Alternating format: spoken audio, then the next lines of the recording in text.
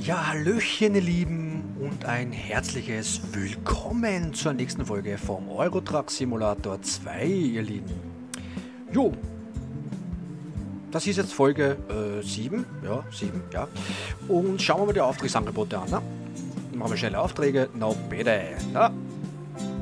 Salzburg, Brünn, nach Tschechien. Leute, Brünn ist cool. Was transportiert er? Gabelstapler, aha. Semi-Tiefbett-Auflieger nach Prag. Aber 6000 bekomme ich. Gleich Salzburg, Brünn. Nehme ich an. Von Salzburg nach Brünn, ihr Lieben. Na bitte. Na, machen wir weiter. Hier im Eurotruck Simulator 2. Hier auf meinem Simvogel-Kanal, ihr Leute.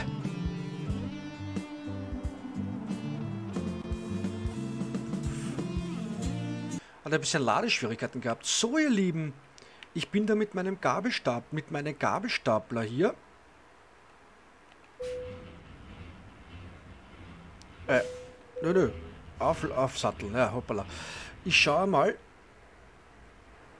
Und zwar hier mein Gabelstapler. Das wird ein Thumbnail, ihr Lieben. Warte mal, F3.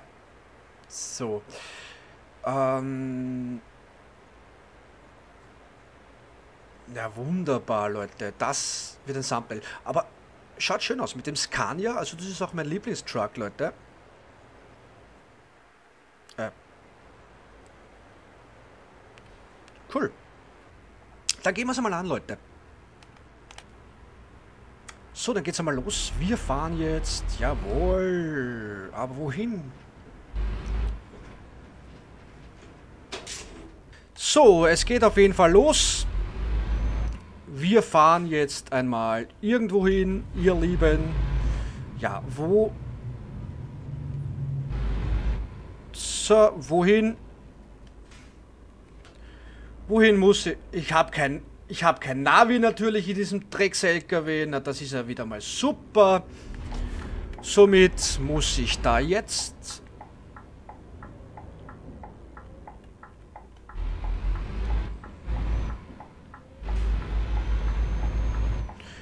Somit werde ich jetzt hier fahren. Fahren, fahren. So, also es geht auf jeden Fall, schauen wir mal da rein, es geht auf jeden Fall nach Brünn, Tschechien, mit der Gabelstapler eben. Äh, wir fahren, ja, 5 Stunden, 10 Minuten, das wird diese Fahrt auf jeden Fall werden.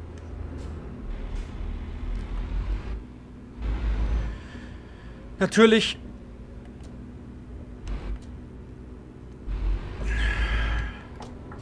Ja, da ist schon wieder dieser Ding eingeschalten, dieser, dieser Scheibenwischer auf der... Ja, alles umgestellt, wirklich. Alles umgestellt schon wieder, mein Sohn. Ich, irgendwann einmal erschlage ich ihm echt. Leute, das gibt's ja nicht. Ja, es staut sich hier in der Stadt auf jeden Fall.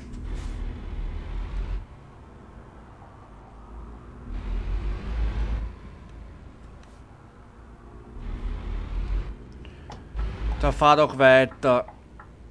Da kommt doch niemand. Wie hub ich schnell? So hub ich.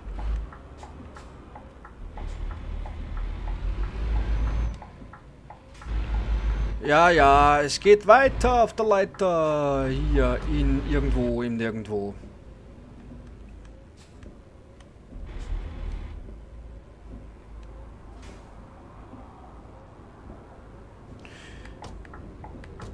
Äh, ich, ich muss, Leute, ich muss das einstellen. Das ist, also es ist so dermaßen mühsam die ganze Zeit. Immer nur diese Umstellerei. Ja, jetzt passt er. Ah, diese Stopptafeln hier. Also ich komme aus dieser Stadt überhaupt nicht mehr raus. Ja, ich bin auf jeden Fall in Salzburg, Leute.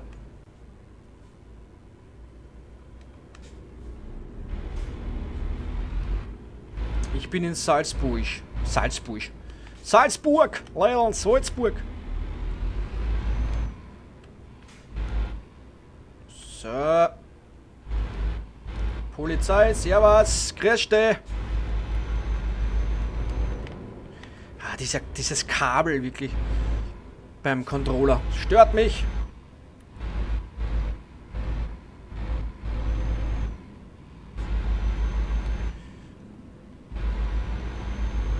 Ich muss immer wieder schauen, dass ich eh auf jeden Fall einmal...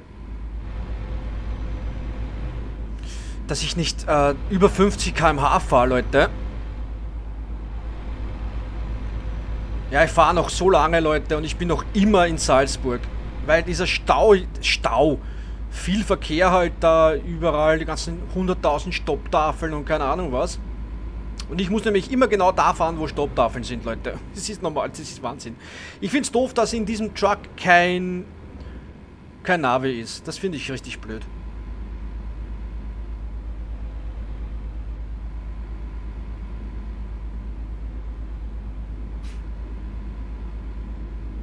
Das finde ich richtig doof, Leute. So, irgendwo muss ich dann nach rechts, wahrscheinlich eh hier.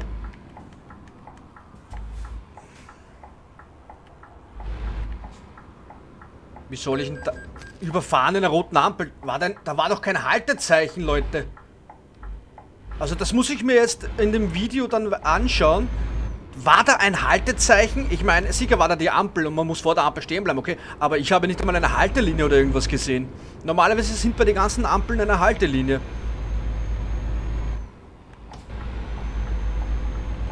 Lass mich da durch, ich bin da jetzt. Wenn ich schon blinke und das, du siehst das, du Vogel.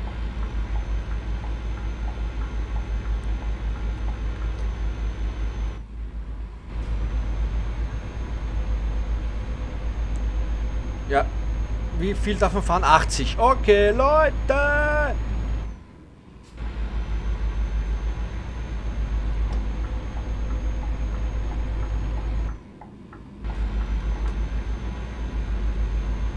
So. Ja, es regnet wieder. Das ist ja wirklich super, wenn es regnet. Ich liebe es ja.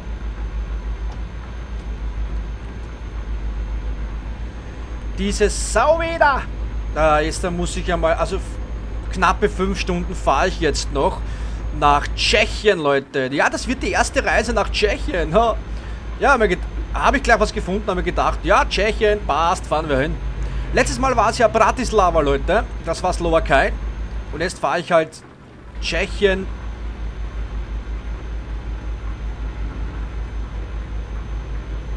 Ich habe doch mein... Da geht's wieder bergauf, Leute.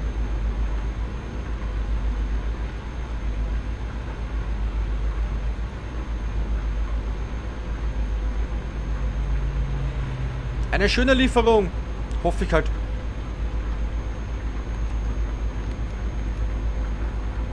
Ja, mein Licht habe ich eh an, das passt eh.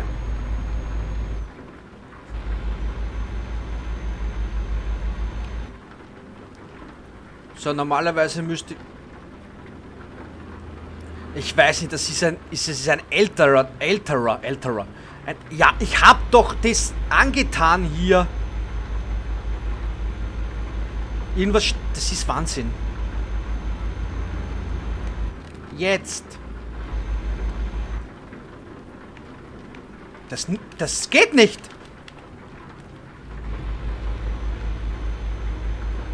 Oder ist es einfach nur, weil es bergauf geht, Leute? Ja, weil jetzt auf einmal passt das jetzt. Warte, ich muss mal kurz ja, die kmh einschalten.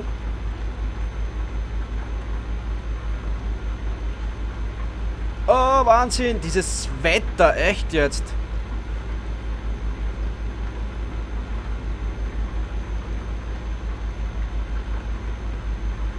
Vier Stunden fahre ich noch. Ja, wird hoffentlich eine gemütliche Fahrt werden, Leute.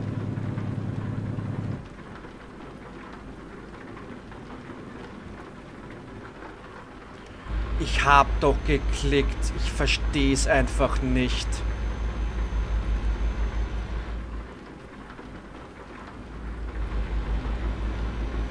Ja, es hat das angenommen. Wo steht... Irgendwie wäre es doch schon schon toll, wenn man da irgendwie gekennzeichnet bekommt, ob man das angemacht hat oder nicht. Es ist neblig, Leute. Ah, es ist so schier. Na, richtig schier, Leute. Uah. Leute! Aber dann sollte ich nach rechts rüber. Weil sehe kein Auto irgendwo. Weil irgendwie muss ich da... Na, da muss ich gar nicht rechts runter eigentlich. Aber er zeigt mir auf jeden Fall einmal an, dass ich nach, äh, auf die rechte Seite rüber muss. Eine grässliche Fahrt nach Tschechien, Leute. Nö. Das will ich nicht. Ich will es nicht. So. Irgendwie, ich weiß nicht. Also gefällt mir der Truck. Scania mag ich, wirklich. Ich bin ein Fan von Scania. Aber der ist so alt, Leute. Kein Navi drin. Die Anzeige ist so komisch. Irgendwie so laut im LKW. So klapprig. Leute. Na, ich freue mich schon wirklich, wenn ich meinen eigenen LKW habe. Dauert zwar noch 50 Folgen. ja, fast, Leute. Kommt hin. Ah, ist jetzt Folge 7 oder was? Also glaubt man gar nicht, dass ich 78 km/h fahre. Wahnsinn. Ich fahre 78 km/h, Leute. Aber das schaut gar nicht so danach aus, Leute. Aber das Wetter gefällt mir gar nicht, echt jetzt.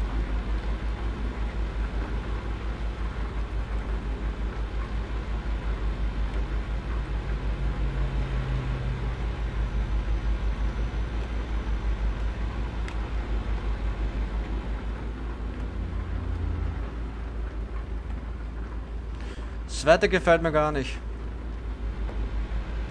Genau, jetzt erstaut sich. Warum werdet ihr langsamer? Vögel!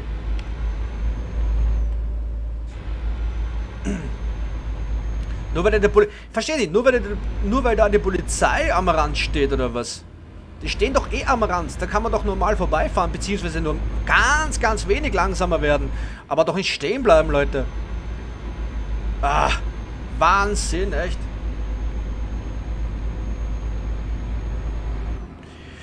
So, wo muss ich hin? Erst kann ich den Scheibenwischer schon ausstellen, weil es ist wieder schöner geworden.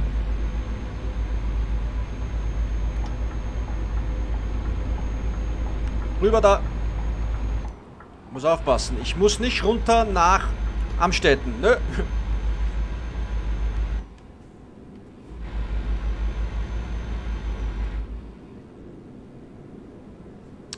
Jetzt muss ich wieder, jetzt muss ich mir wieder rechts halten oder was?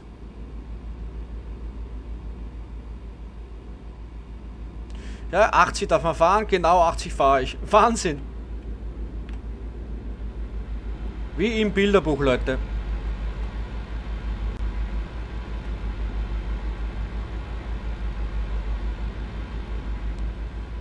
Auf der E60 unterwegs Richtung Tschechien. Drei Stunden noch Fahrzeit. Vielleicht wird es ja mehr, wenn wieder mal eine Baustelle ist oder eine Straßensperre. Also ich finde es schade, nach Großenzersdorf kann man doch nicht fahren. ja, das ist doof. Ah, mein Kaffee hier trinken während der Fahrt. Nee, das ist, das ist cool. Ah. Eine beschauliche Fahrt über Land. Auf der A1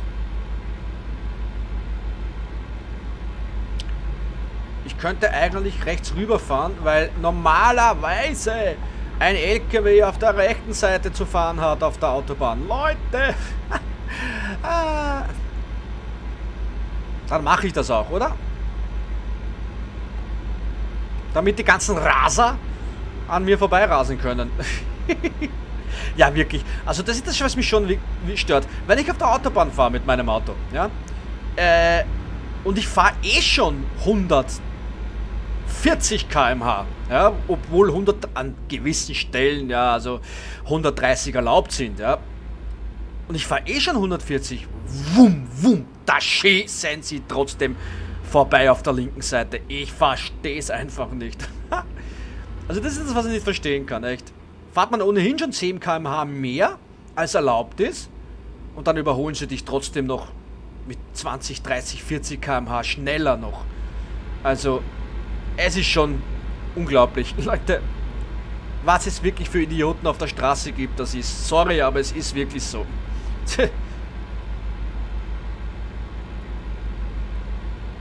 Dabei müsste ich ja eigentlich gar nicht so nett sein und äh, auf der rechten Fahrspur fahren, wenn ich eh schon 10 km schneller fahre, als erlaubt ist. Ne? Müsste ich ja normal gar nicht. Aber ich bin ein Idiot, also gutmütig ne? und liebevoll und mache es trotzdem. Leute, natürlich ist da gesperrt. Ja. Leute, irgendwann einmal reicht's mir. Jetzt habe ich wieder eine Umleitung oder was. Oh, normalerweise gleich da durch. Was ist denn da schon wieder passiert? Jetzt habe ich wieder eine Umleitung von, ja, wieder 40 Minuten Verspätung. Also das war, war ja schon in der letzten Folge so, Leute. Nur wegen einer Straßensperre, obwohl eigentlich nichts zu sehen ist, muss man ausweichen und da habe ich über eineinhalb Stunden Verspätung gehabt, sogar knappe zwei Stunden. In der letzten Folge war das als ich nach Slowakei gefahren bin. Und jetzt wieder. Über eine Stunde Verspätung. Ah, nein, nicht einmal. Ja gut, dreiviertel Stunde. Dreiviertel Stunde Verspätung.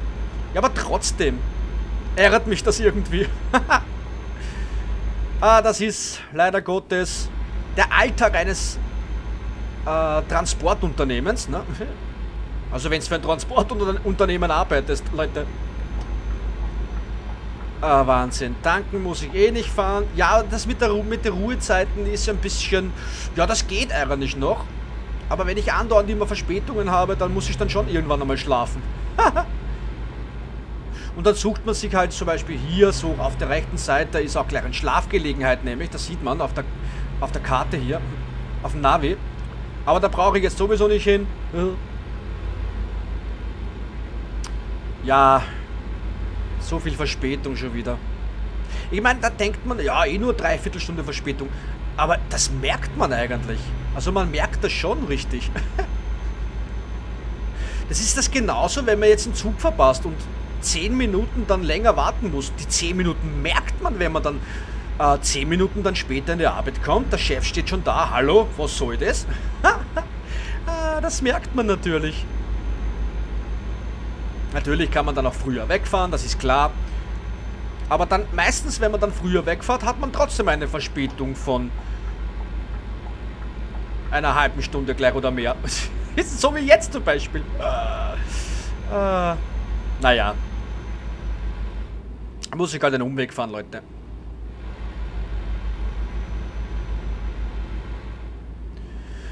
Muss ich halt einen Umweg fahren.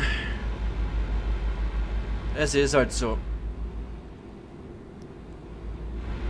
Manswörth, das ist ja eigentlich, kann es sein, das ist bei Wien, ja, glaube ich. Oder? Oder ist Manswörth schon Niederösterreich? Ich meine, ich glaube schon Niederösterreich, aber das ist irgendwie so Grenze zwischen Wien und Niederösterreich. Ich bin mir nicht ganz sicher. Also, Leute, geografisch, ich weiß zwar fast, also fast jeder nicht, aber ich weiß viele Hauptstädte von den Ländern, okay. aber das ganzen Städte, also die ganzen Dörfer und keine Ahnung was. Also da, da bin ich geografisch dann schon. Leider Gottes. Hört's da auf bei mir. So, da vorne fahre ich dann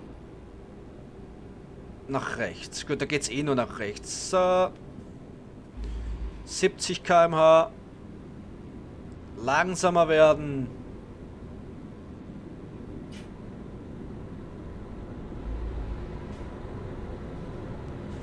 So, da muss ich natürlich jetzt schauen, dass ich da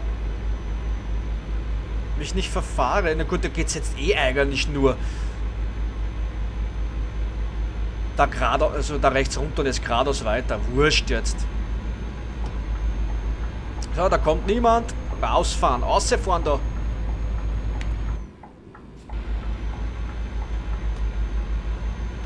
Bruder, ne?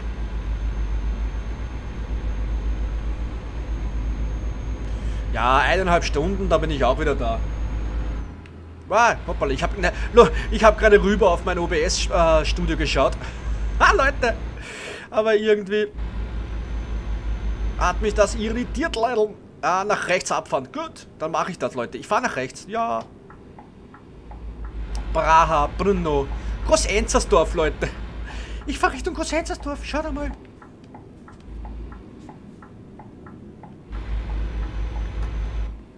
Ah, 50. Okay. Da geht's jetzt eh bergauf. Leute, hey cool. Na, na, klar, also da kann man dann weiter vorne auch noch rechts nach Kosensdorf direkt äh, runterfahren. Da kommt man dann Richtung nach Aspern, also zum Ölhafen Lobau, Aspern und so. Ich kenne mich da aus. Leute, bin ich aufgewachsen. Aber das, glaube ich, ist noch nicht zugänglich. Es wäre natürlich schon schön, wenn man da, wenn man, wenn sie das bringen würden oder so. Dass man wirklich danach, glaube ich aber nicht, Leute. Es ist zwar ein größeres Dorf, Kosenzersdorf, irgendwie aber jetzt doch nicht so weltbekannt oder so. Oder europamäßig bekannt. dass es wahrscheinlich so sein wird, dass sie jetzt nicht machen, dass man da hinfahren kann. ah, Leute. Weil zum Beispiel hier kann ich zum Beispiel... Kann ich da schon abfahren, wenn ich nach Kosensdorf herunterfahren würde? Ja, schau da mal doch. Also ich könnte da rechts abfahren, da komme ich Richtung Ölhafen runter.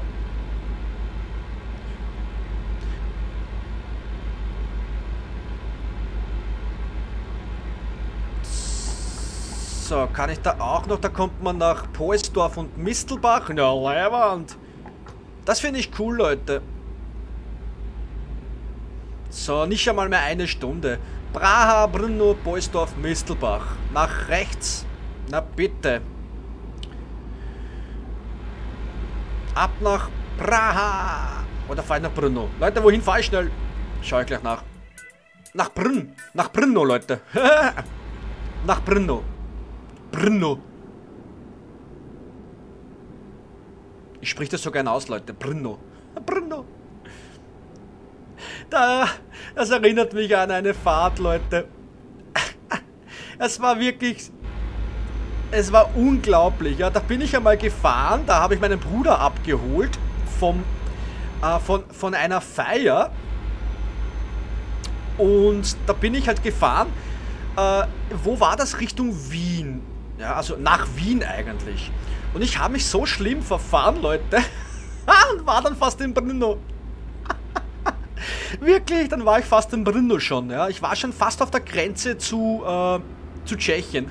Ah, Leute, so schlimm verfahren, verfahren habe ich mich da.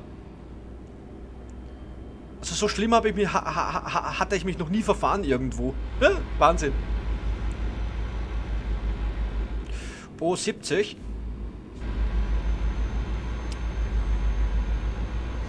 So, tanken, tanken muss ich nicht. Müde bin ich, ja, bis zur Hälfte nur. Das geht sich alles aus. Halbe Stunde bin ich da, Leute. Na bitte. Und dann haben wir das nächste gemacht. Fertig, äh, die nächste Strecke fertig gemacht. Ich bin neugierig, wo es mich als nächstes hin verschlägt. Also es war natürlich von Österreich nach Österreich, also lo äh, lokal halt bei mir. Und dann halt in Slowakei, jetzt fahre ich Tschechien. Super wäre es einmal irgendwo nach Deutschland zu fahren, aber das wäre schon wirklich eine große Reise. Da spreche ich dann schon von 10 Stunden aufwärts. Haha, Leute. Aber meine Pech momentan, die letzten zwei Folgen jetzt, nur Umleitungen. Ich wäre schon längst da. Aber ich sehe das Ziel schon, Leute. Ich bin in Tschechien, jawohl. So, pass auf, wo du hinfährst. Schau doch mal, die schneiden die Kurve extrem. Also das ist blöd gemacht worden vom Spieleentwickler. Die KI. Habt ihr das gerade gesehen, wie weit rüber der gekommen ist? In der Kurve. So, dass ich ausweichen musste. Und das ohnehin keinen Platz habe. Leute. Ah, nervenaufreibende Fahrt. 80 km/h darf man da in der Ortschaft von Brno fahren? Ich glaube, nach Tschechien ziehe ich. Ja, Leute. Oh mein Gott. So, gleich muss ich nach rechts. Und ich bin da. Jawohl! Passt. Mein Kaffee hier genießen. Jetzt wird's grün. Ja, sag ich ja. Während ich Kaffee trinke, wird's grün. Unglaublich.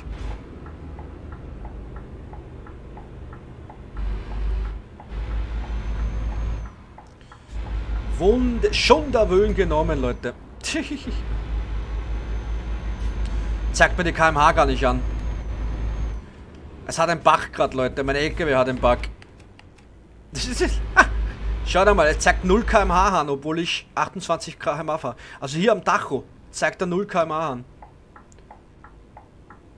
Wieder ein Bug. Wieder einen Bug gefunden, Leute. Barry, Barry, Bug. Äh, wo muss ich da jetzt hin? Ich muss hier rüber, also nicht rechts rein, sondern ich glaube jetzt, dass ich doch... Muss ich da jetzt... Entschuldigung, Leute. Muss ich da jetzt rein? Das ist blöd gemacht, Leute.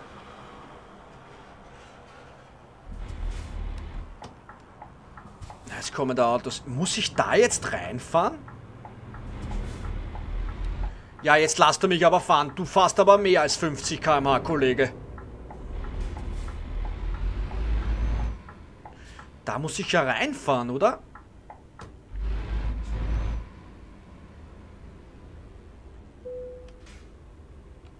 Passt. So.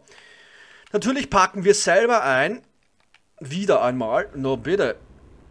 Wohin soll ich mich da parken? Hier hin.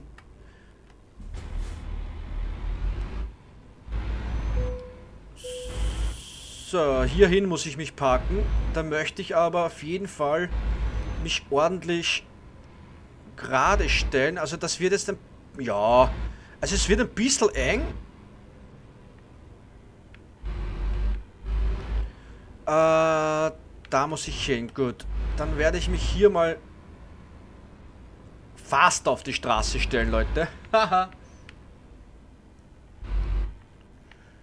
so, tut mir leid, Kollegen. Jetzt müsst ihr ein bisschen warten.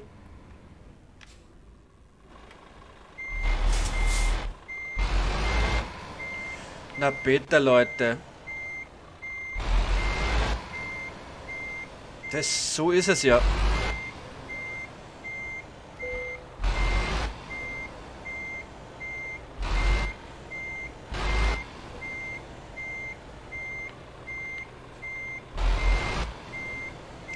Ah, vielleicht bin ich doch ein bisschen zu weit.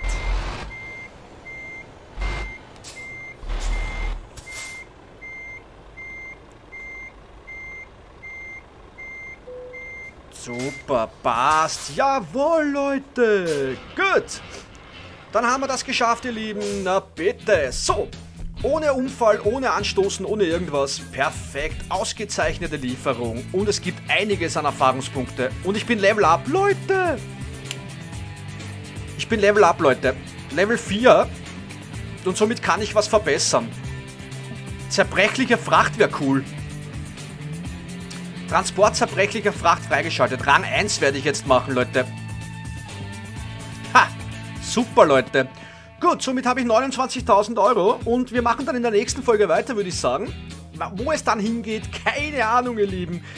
Da bin ich einmal gespannt drauf. Bis zum nächsten Mal, macht's es gut, Game Over. Euer Simvogel, ciao.